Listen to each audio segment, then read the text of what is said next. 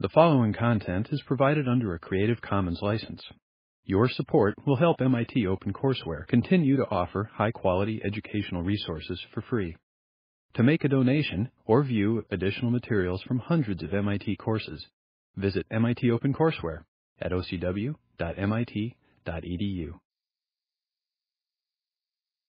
At the end of the last class, I mentioned that uh,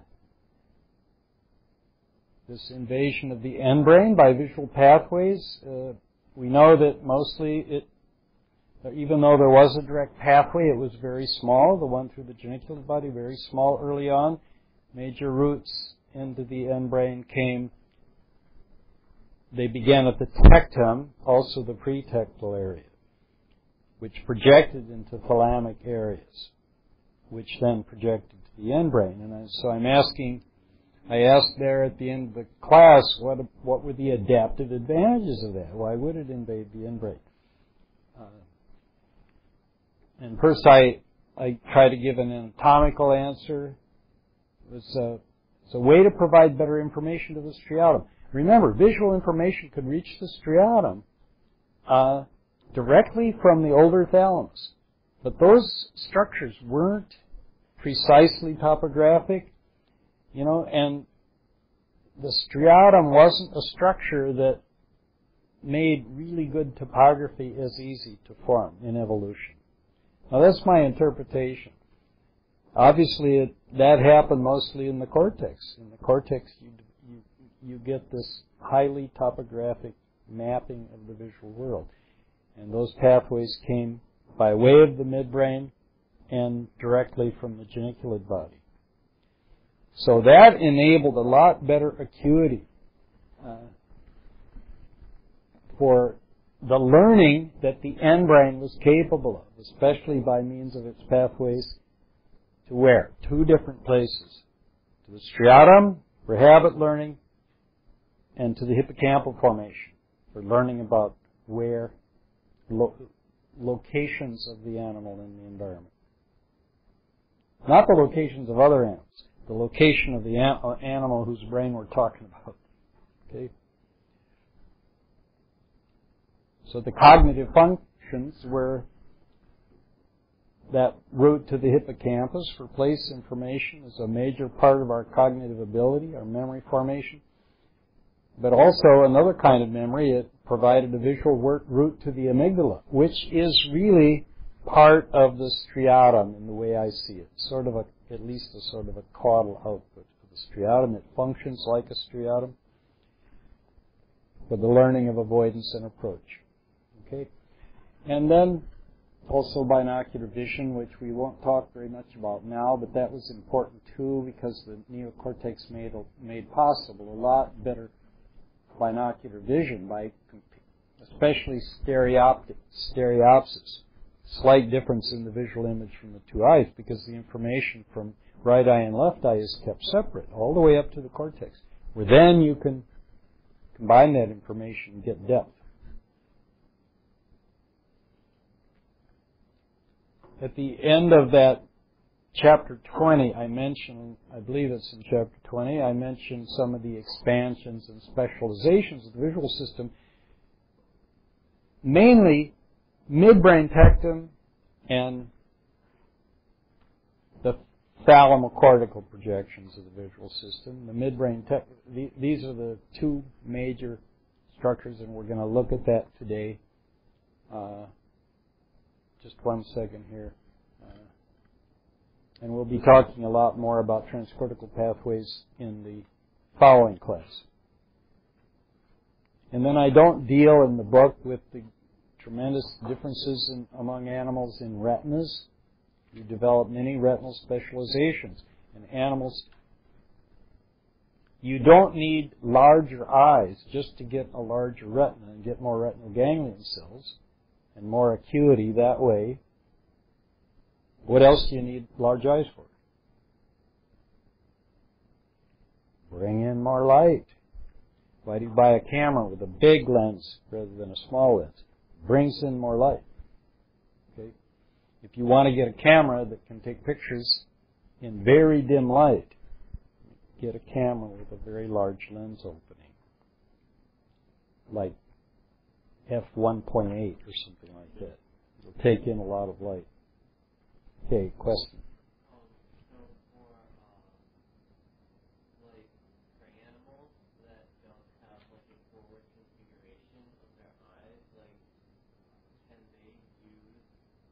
Excellent question. We, we, we know that animals with forward-looking eyes, they're usually predators, and primates, and primates are usually predators too, but not all of them. Some of them, we have fruit-gathering primates, but they also need good binocular vision, so they have forward-facing eyes too. Uh, but what about the animals with these eyes that, like the, the hamster? It's got eyes that look 60 degrees out and 30 degrees up horizon. That's the way their eyes look. That's the natural position of the eyes. I've measured it in the hamster. But it's pretty similar in other little rodents. They do have an area of binocular vision. There's about at least 30 degree overlap. Okay? And in that central area, which the center of it is 30 degrees above, they do have binocular vision, okay? And they, but it's pretty rudimentary compared to the primates. And also they don't have the high acuity that primates have. But it's still important for them. But I've looked at hamster behavior a lot and they, they really, things five feet or even two feet and 30 feet away they don't discriminate very well, you know. But for things near them, they definitely can judge vision. They won't leap. Sometimes they do, but usually they won't jump into places that are too dangerous because they're too high. They can see the depth well enough. It doesn't mean stereopsis cues, though. It could just be the the uh, various other cues, like when they move their head, the parallax that you get. Uh,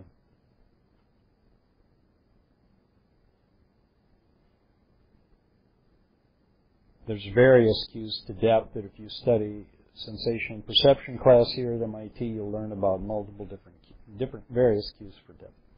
Okay, that don't involve stereopsis. All right. So now we want to look at the retinal projections.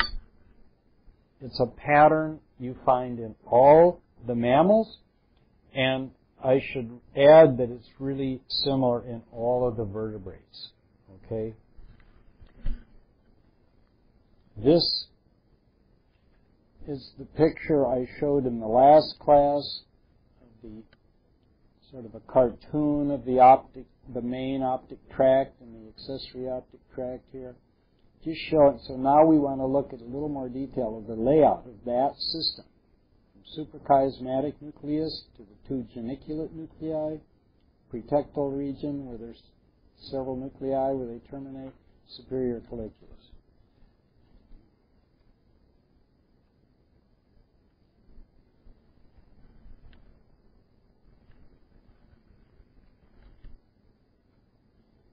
So we'll look at the retinal projection in vertebrates, the layout of the optic tract, and we'll look at them in several different ways of looking at it. We'll talk about species differences in relative size of structures, because qualitatively they all have the same basic layout, but there are large species differences in relative sizes, as well as in the eyes are different too. So you have different different amount, different levels of acuity in vision are possible in these different species.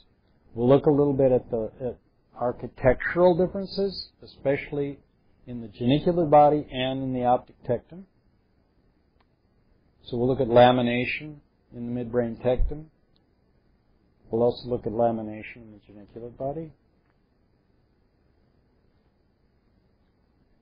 And finally, we'll look at topography. And I know when you first get all this, you get a little overwhelmed by all the structures and everything, so I'm not asking you to memorize the topography, but I want you to see, I will present it to you in a way that does make it pretty easy to learn.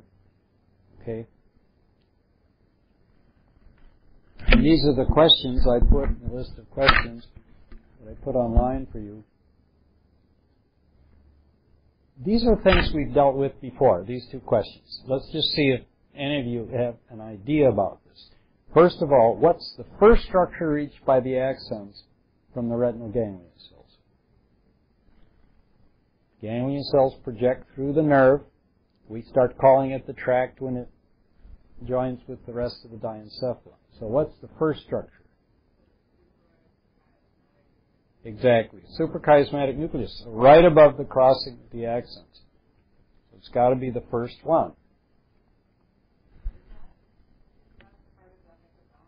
It's part of the hypothalamus, definitely. Okay? The area in front of that region we call preoptic area of the hypothalamus because it's in front of the optic chiasm. Actually, we talk about the anterior hypothalamic nucleus and then the preoptic nucleus. So I'll modify my first statement a little bit. So the forebrain subdivision you've just named, it's the hypothalamus. And the major terminal nucleus in that subdivision is the suprachiasmatic nucleus. Now remember, there, there's some spillover there too uh, that I showed you last time. It does project to immediately adjoining parts of the hypothalamus. But we know most about that suprachiasmatic nucleus. It's very little known about the functions of the sparse projections. People tend to think that they don't play any major roles. That's why they're so sparse. Uh, I'm not convinced of that. Uh, they could play important roles, you, uh, but the one thing that makes me doubt it a little bit is just that there's variability. When I study the retinal projections in a number of different hamsters, I do get differences in these very sparse projections. Some animals I see more, some I see less, but they're always there. Okay? Okay, the next question is what's the major difference in the nature of the projections of the dorsal thalamus on the one hand and the ventral thalamus or the epithalamus. That is, after you go past the suprachiasmatic nucleus, the axons go up the side of the diencephalon and they reach the subthalamus, just above the hypothalamus. Then they reach the dorsal thalamus. Then they reach the epithalamus, the pretectal nuclei in the epithalamus. So there's a big difference, though, in the nature of the projections of the dorsal thalamus and those other groups. What is that difference?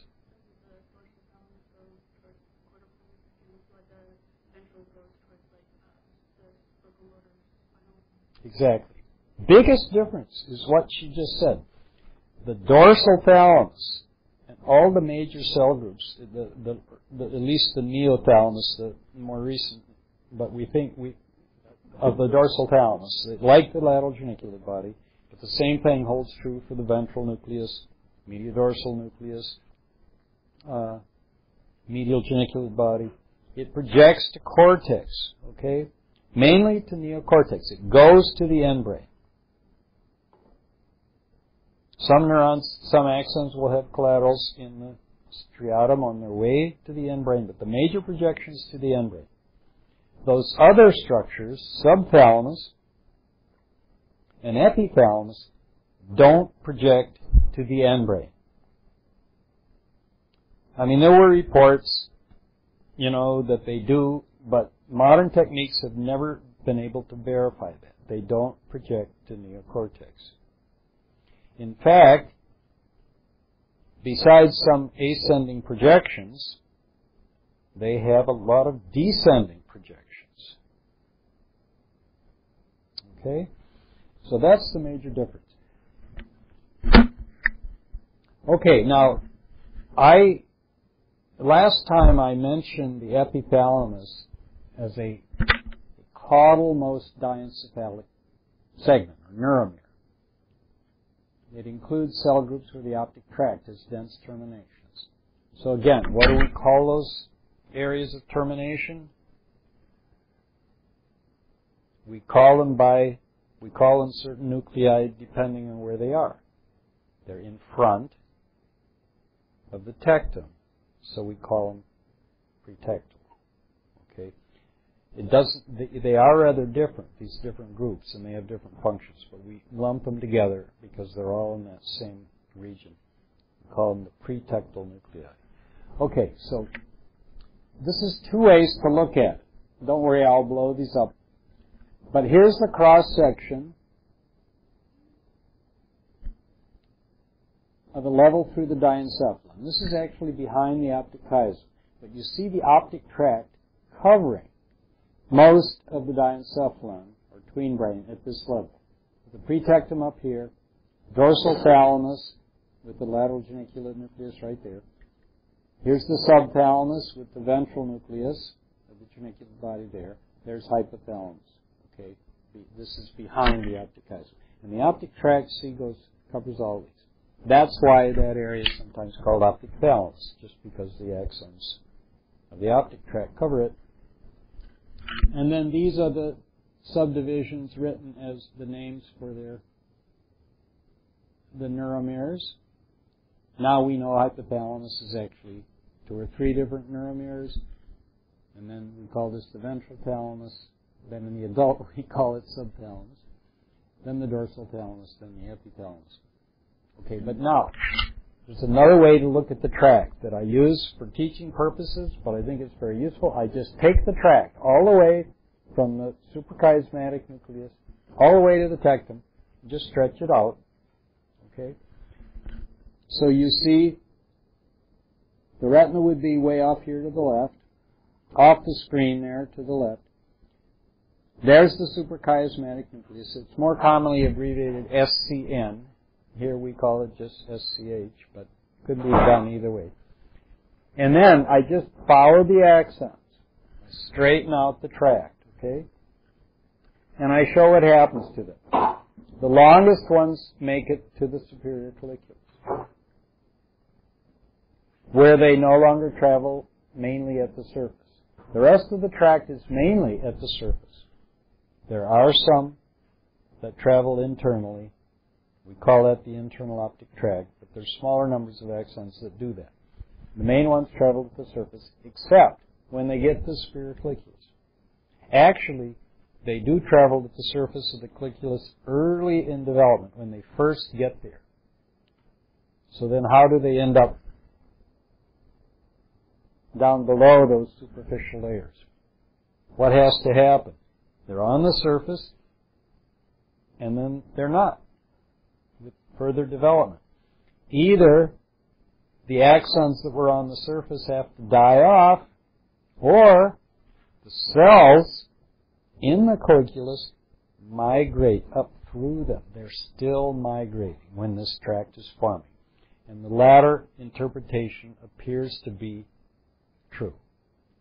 Because you do see cell migrations going up to the superficial gray occurring after the first axons have reached there, and when you look with stains that are capable of seeing degeneration occurring, you don't see a lot of degeneration. Okay, so we think it's it's actually due to cell migration. Okay, now here you see them. It looks like they're branching off. Let, let's do it this way. Here's that first picture again, where I blow it up, it's the same thing, and I point out here ventral thalamus is not the ventral nucleus of the dorsal thalamus. It's really subthalamus. Okay? The ventral nucleus is this nucleus right up in here, part of the dorsal thalamus. So here I just show the places the optic tract terminates. You see the dorsal part of the lateral geniculate body. Now remember, this is a rodent. The LP is not huge but it's the rest of the lateral thalamus. Besides the genicular bodies, you have lateral thalamic nuclei. The, the medial geniculate is another lateral thalamic nucleus. Uh, here is a human, 12 weeks post-conception. Okay? So a three-month human fetus. There's the rodent adult.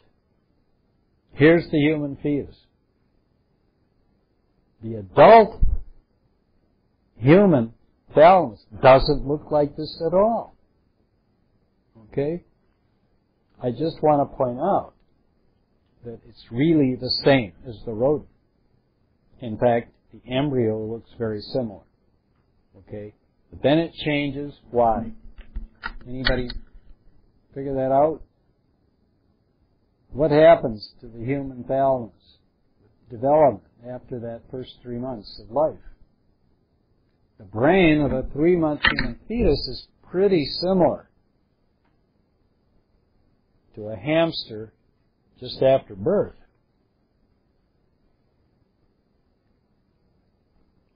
But then something continues developing in the hamster, in, in, both the hamster and human, but mostly in human, after that first three months.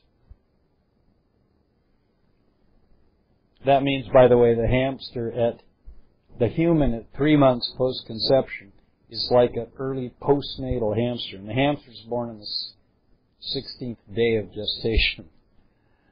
Just to give you some times. But anyway, what happens? This nucleus labeled NL here, the lateral nucleus, nucleus lateralis. This is the posterior part of nucleus lateralis. Okay, that grows and grows and grows, and in primates, it really gets huge, and we change its name. We call only part of it the lateral posterior nucleus, like we call the whole thing in rodents. The rest of it we call the pulvinar, which means pillow the pillow because it's bulging out so much. Because the cortex it projects to, even though it's there real early, it expands so much. And thalamus, you know, a lot of people that talk about cortex just think the sensory input comes to it, then you go from one region to the other in the cortex, then you go out through the motor cortex. Not a very good accurate picture, even though the majority of people in this building think like that. That's not really a good picture the connections of the cortex. So we'll be dealing with that, including some next next class, but we'll continue dealing with it for the other systems. All right. So that's what happens. Otherwise, this this at this stage, these pictures are pretty similar. Okay. And remember, those divisions here happen because here an even earlier, very early embryo, embryo, where I show a side view with the segments. Remember the seven rhombomeres here, then a little segment we call the isthmus, and then the midbrain, which is a pretty big segment, and then the epithalamus with the pretectal forming area forming here, the habenula forming here, and then dorsal thalamus, ventral thalamus or subthalamus, hypothalamus, which is actually turns out to be several subdivisions. Okay. So then these are the questions we want to answer now. I want you to be able to name the five main optic tract termination areas in the order they're reached by the optic tract. So here they are. They're already past the suprachiasmatic. Then you have the two geniculate bodies. Then they get to the pretectal area here. I show them on this picture. And then finally they, they turn caudally and they get to the superior colliculus. So those are the areas. One, suprachiasmatic. Two, three, four, and then five superior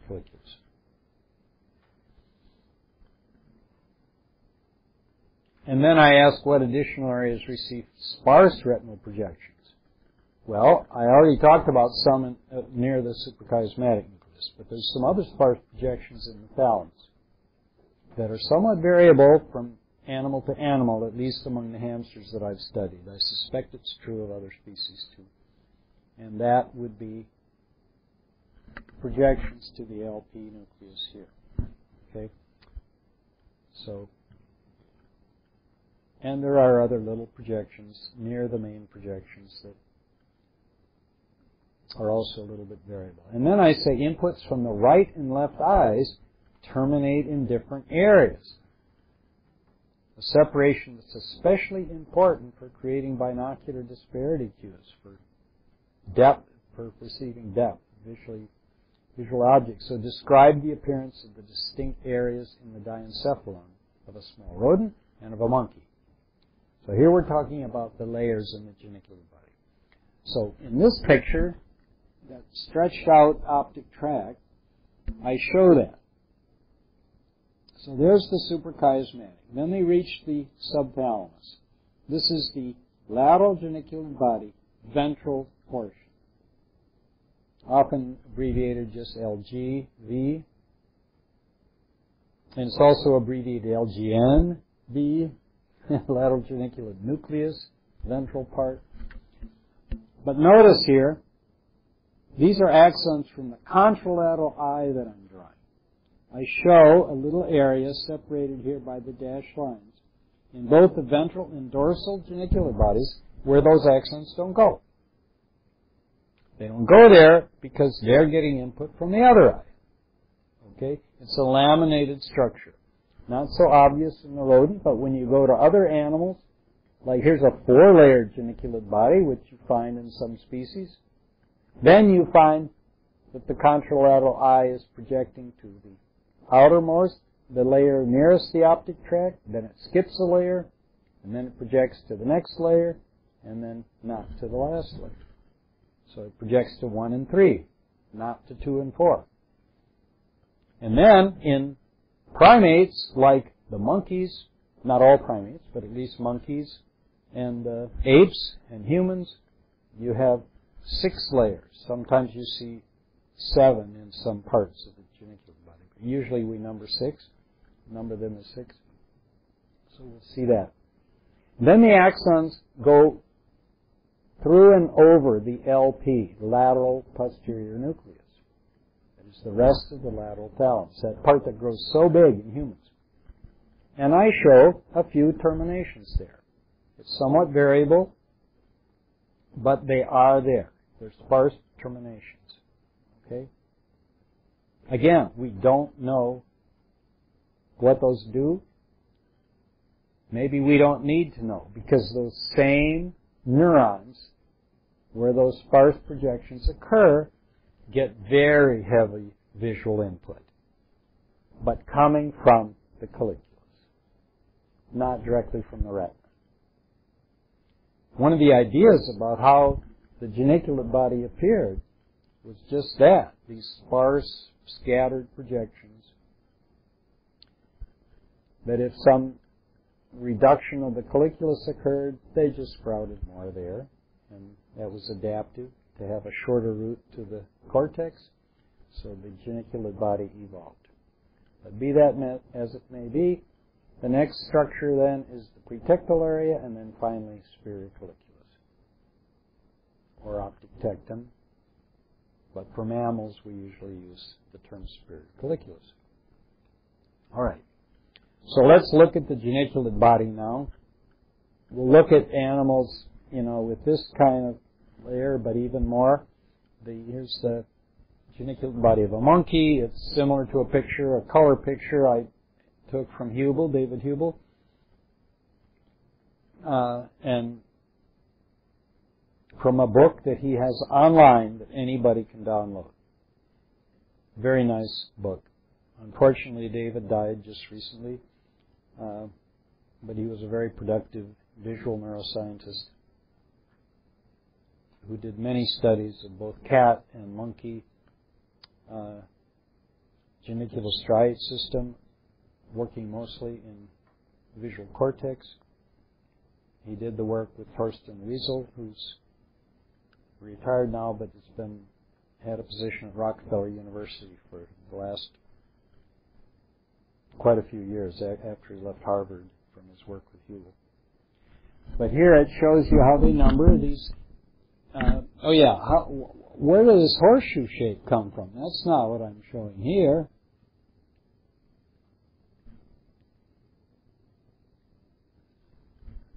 Can you figure that out? Let's go back to the embryo. It looked like this. Monkey's the same. This structure here grew and grew and grew. So this structure got pushed this way. Okay? So, and the pulvinar, in growing so big, uh, the thalamus in front of it also grew, and so this thing that's on the side of the thalamus here, here, side of the thalamus, got pushed over like that, and it also get, got rotated. So the geniculate body ends up on the back of the thalamus. So it goes that way and gets, so this becomes like that. And the optic tract, which was out here, is now under here. Okay, so that means this is the optic tract surface. Those are the axon. The tissue is torn off there. But that's where the optic tract is. But it's exactly top, topologically, it's the same as, as this this picture here.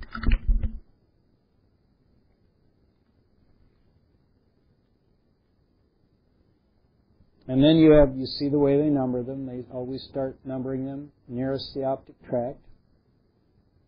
So one, two, notice the first two layers are larger cells.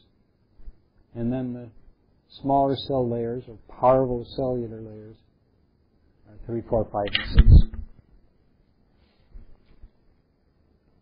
And again, you have half of them that are getting ipsilateral, uh, contralateral input, and the other half are getting ipsilateral.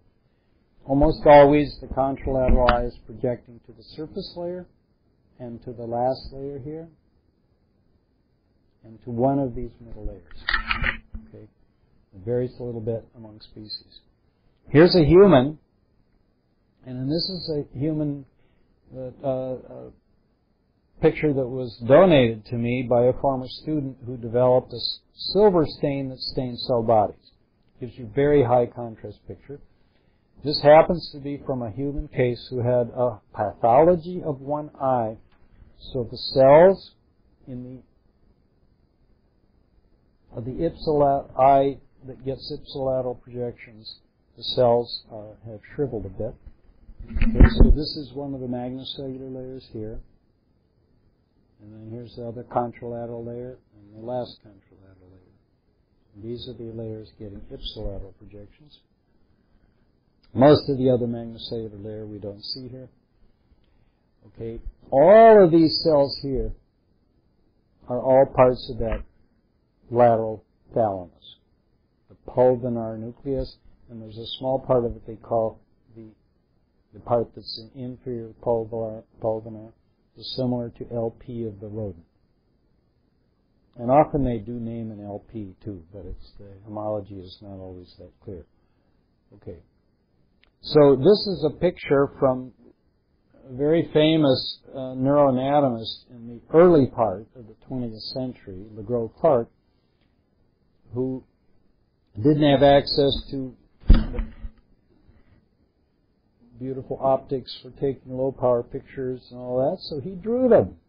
And he drew these beautiful pictures, in this case of many different uh, primates, and at that time they thought the tree shrew might be the most primitive primate. It turns out to be similar to very primitive primates, but it's actually an insectivore.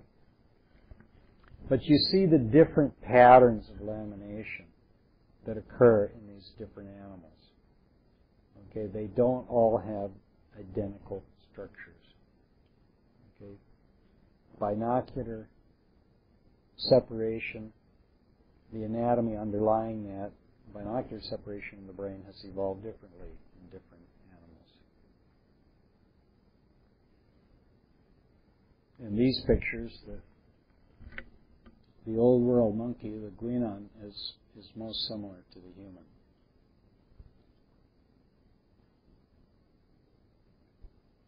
This particular this picture here is fairly close in level to that picture of the, of the photograph. Okay, so now I want to go to the rodent, which they're usually using in laboratory work uh, for a lot of the studies of many systems. And uh, I want to I t- use side views, and I show the opt. Here, here's a very simplified picture of it. The outline here is a fairly accurate view, a side view of the upper brain stem of a hamster. So you see the inferior colliculus and superior colliculus of the midbrain here. This is all thalamus. The dorsal thalamus would be all through here. But the geniculate body here, way out at the edge, here's the two parts, dorsal and ventral nuclei. Now remember, I showed you, I said that the lateral, the ventral nucleus, the lateral geniculate is really subthalamus. Well, most of the sub, remember it's a curved structure, so this is at the lateral edge, so it's much higher up. But then as we went deeper into the thalamus, it would be way down here. And what I show here is a little schematic of one little bundle of optic tract axons coming from the chiasm up the side. I don't show the terminations in the suprachiasmatic nucleus because those are different axons. But I show that axons that go to the geniculate body are usually branches of optic tract axons that go further. They go to the tectum and often the pretectum as well. I also show where the major input to the LP that provides the LP with visual information doesn't come from the retina, even though there are a few projections there. They come from the superficial or visual layers of the superior colliculus. And it projects to both LP and to the outer layer of the lateral, the ventral nucleus of the lateral geniculate body. So then, uh, I, here's the question that I want to answer next. The, there are axons that leave the main optic tract and terminate in these small cell groups. There's up to three of them. They're described as what kind of optic tract? The word is accessory optic tract. And this is a anatomical reconstruction of the hamster uh, where I had labeled the axons, all of the axons that I could, which is most of them. So I get the entire optic tract and I, I put together, this is done from serial sections. So, you know, the sections were actually like this, but pretty close together, okay? And I then reconstructed the entire optic tract chiasm to colliculus. In this particular brain, with the, I was using degenerating X stains for degeneration. I didn't get a good picture of the suprachiasmatic nucleus, so like most scientists, I never lie with the data I present. I don't show it. Okay. But in fact, with other techniques, I could see it, and it's right here. All right. And what I'm showing here is the accessory optic tract axons. And you can see why they're called accessory optic tract. They leave that main tract that goes all the way from chiasm to colliculus here. Here's some that leave just below the cerebral peduncle. And they travel caudally and they terminate medial to the peduncle. Right there through a nucleus that sort of hugs the medial side of the of the substantia nigra and the cerebral peduncle. And others do, just travel caudally below the thalamus here. They just sort of peel off at the level of the ventral lateral geniculate body. And they terminate in a little nucleus here. And some axons go down this way and get to this other one. There's even some axons going in the other direction. That's called the transpeduncular tract. And then finally, here's a little tract that goes from the pretectal area. It leaves the main tract, seems to go down to the lateral terminal nucleus, but it has another little nucleus there, way out at the lateral edge of the pretectal area. So that's the accessory optic tract. Very interesting system because all the cells in that tract respond to movement of the whole scene across the retina. No matter where you are in the retina, de- the cells will detect movement in the same direction. So when does that happen? When the whole animal starts to fall. It happens when the animal's locomoting, and so there's streaming of the visual world past his eyes. And it functions as a kind of it does the same kind of functions that the vestibular system does. Okay? But it gives visual signals to indicate changes in head direction and eye direction. Okay? Very important for uh, locomotion and very important if you need to keep track of your of head position. All right. So then I just want to show you that, that what that reconstruction uh, is doing by taking photographs of a similar brain. Now here I didn't label it. Here I did. So here you can see, because of the way I've shaped the light, you can see major tracks because they're whiter. That's the lateral olfactory tract. There's the optic tract. There's a pathway carrying auditory input from hindbrain up to the inferior colliculus. There's the bundle. One of, you see these two bundles here? We cut those when we remove the cerebellum. Those are the cerebellar peduncles, okay? There's hypothalamus down below, and there's where I, uh, when I removed the brain, I tore the pituitary off, right there, okay? That would be the mammillary bodies at the caudal end of the hypothalamus. So here I've labeled them, and I've labeled a few other structures. So this structure here, it's not thalamus, it's part of the end brain. It's the corpus striatum. Then I show you exactly where the geniculate body is. I know you say, well, what do you mean exactly? Because I can see the shadows there, can see them there. I know that that's exactly the edge of the dorsal nucleus. And this is the ventral nucleus, right below it. There's the optic tract, hypothalamus. This big bundle here that emerges from behind the optic tract, those axons are coursing through the corpus striatum here, but in the rodent they're all they're all separated. a whole bunch of little separate bundles that collect and form the peduncle. Comes along the side of the diencephalon and then passes right on into the pontine region here. And then when we study auditory system, we'll learn that this is called the lateral lemniscus. And that bump right there, behind the cerebellar peduncles, that's the cochlear nucleus. And there's the stump of the eighth nerve.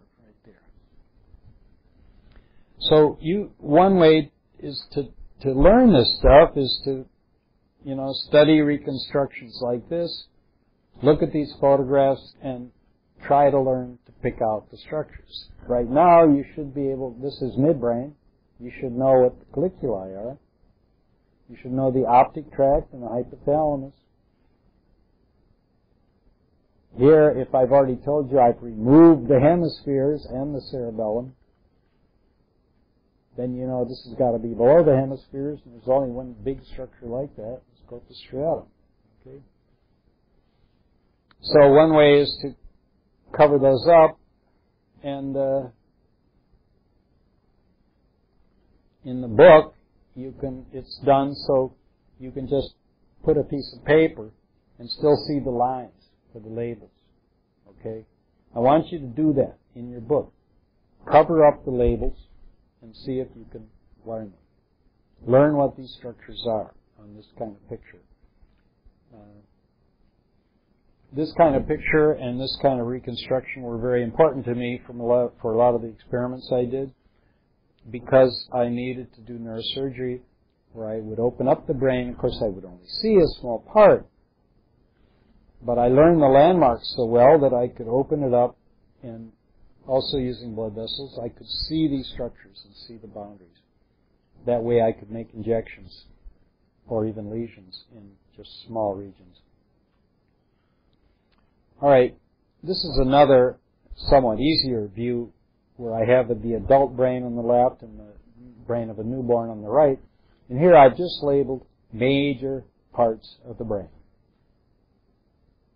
Olfactory bulb, neocortex, the superior colliculi, inferior colliculi, cerebellum, and the medulla oblongata, the caudal part of the hindbrain. The rostral part of the hindbrain is underneath the cerebellum. The cerebellum is part of it. But what I want you to note here, look at the cerebellum here in the baby. It's just this tiny little collar behind the inferior colliculus. It's mainly developing with huge numbers of cell migrations from the rhombic lip of the hindbrain. Just developing in the newborn hamster. It's born, remember, at a stage, it's like a two and a half to three month human fetus which means that a two and a half month human fetus looks just like this too. The Cerebellum grows mostly after that time. Okay, so one way to study that, just use the book and make yourself a card and cover those up and make sure you know what all those pointers are pointing towards. This one should be the easiest. This one will be a little harder. All right.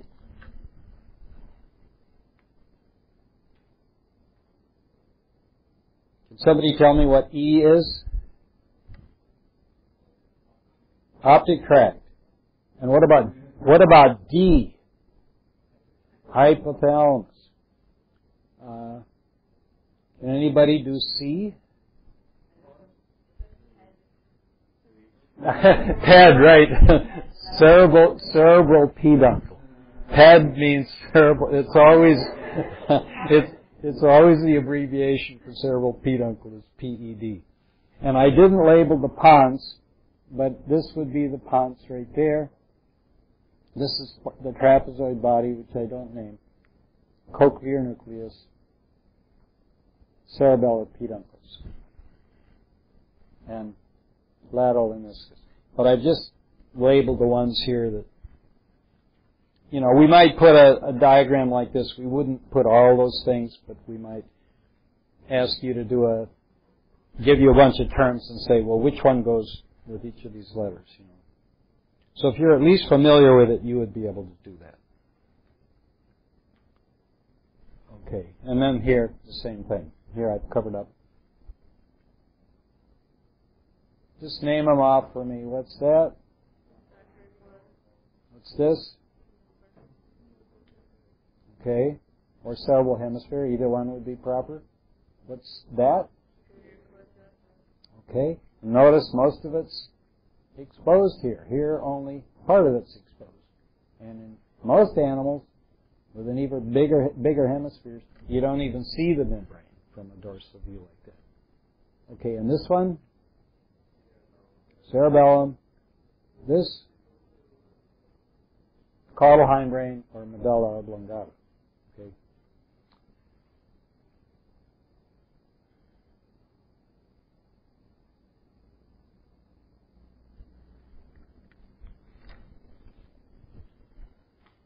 Oh, I'm asking you another question here about naming these structures. I said, what would make this more difficult during a neurosurgical procedure? Think about it. In a neurosurgical procedure, you don't expose such a huge amount of the brain. You only can, you know, you want to make as small a window as possible so you don't damage so much tissue. So that's the first problem. And the second thing is, there's a lot of blood vessels.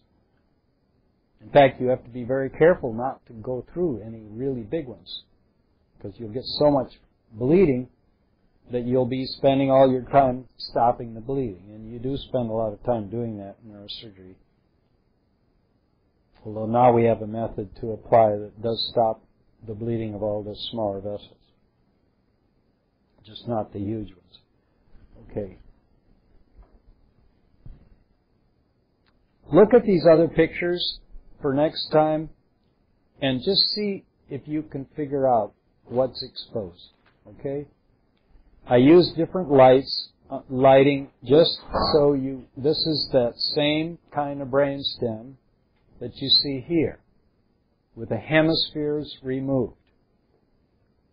And you can see various structures. Here I've done a little more removal up front here. Let's see if you can figure out what those things are. Now I do name a lot of them in the book. I don't think I show all these pictures in the book. But you, I wanted you to see how by, if you adjust the light a little bit, you can actually see boundaries. Like look at this one. There's the superior colliculus. There's the pretectum. You look at this one, even clearer. There's the boundary between superior colliculus and pretectum. Look at how clear this boundary is and this one. Pretectal area, LP, geniculate body. That is the bundle carrying information from the amygdala, which we will be studying soon. Okay, and this just shows what it looks like in a, the embryo when it just the axons have first grown back to the tectum, a very straight pathway back to the tectum. Uh, and we'll, next time we will start in this area and talk about the midbrain a little more. Just to look at these pictures, but they're in the book.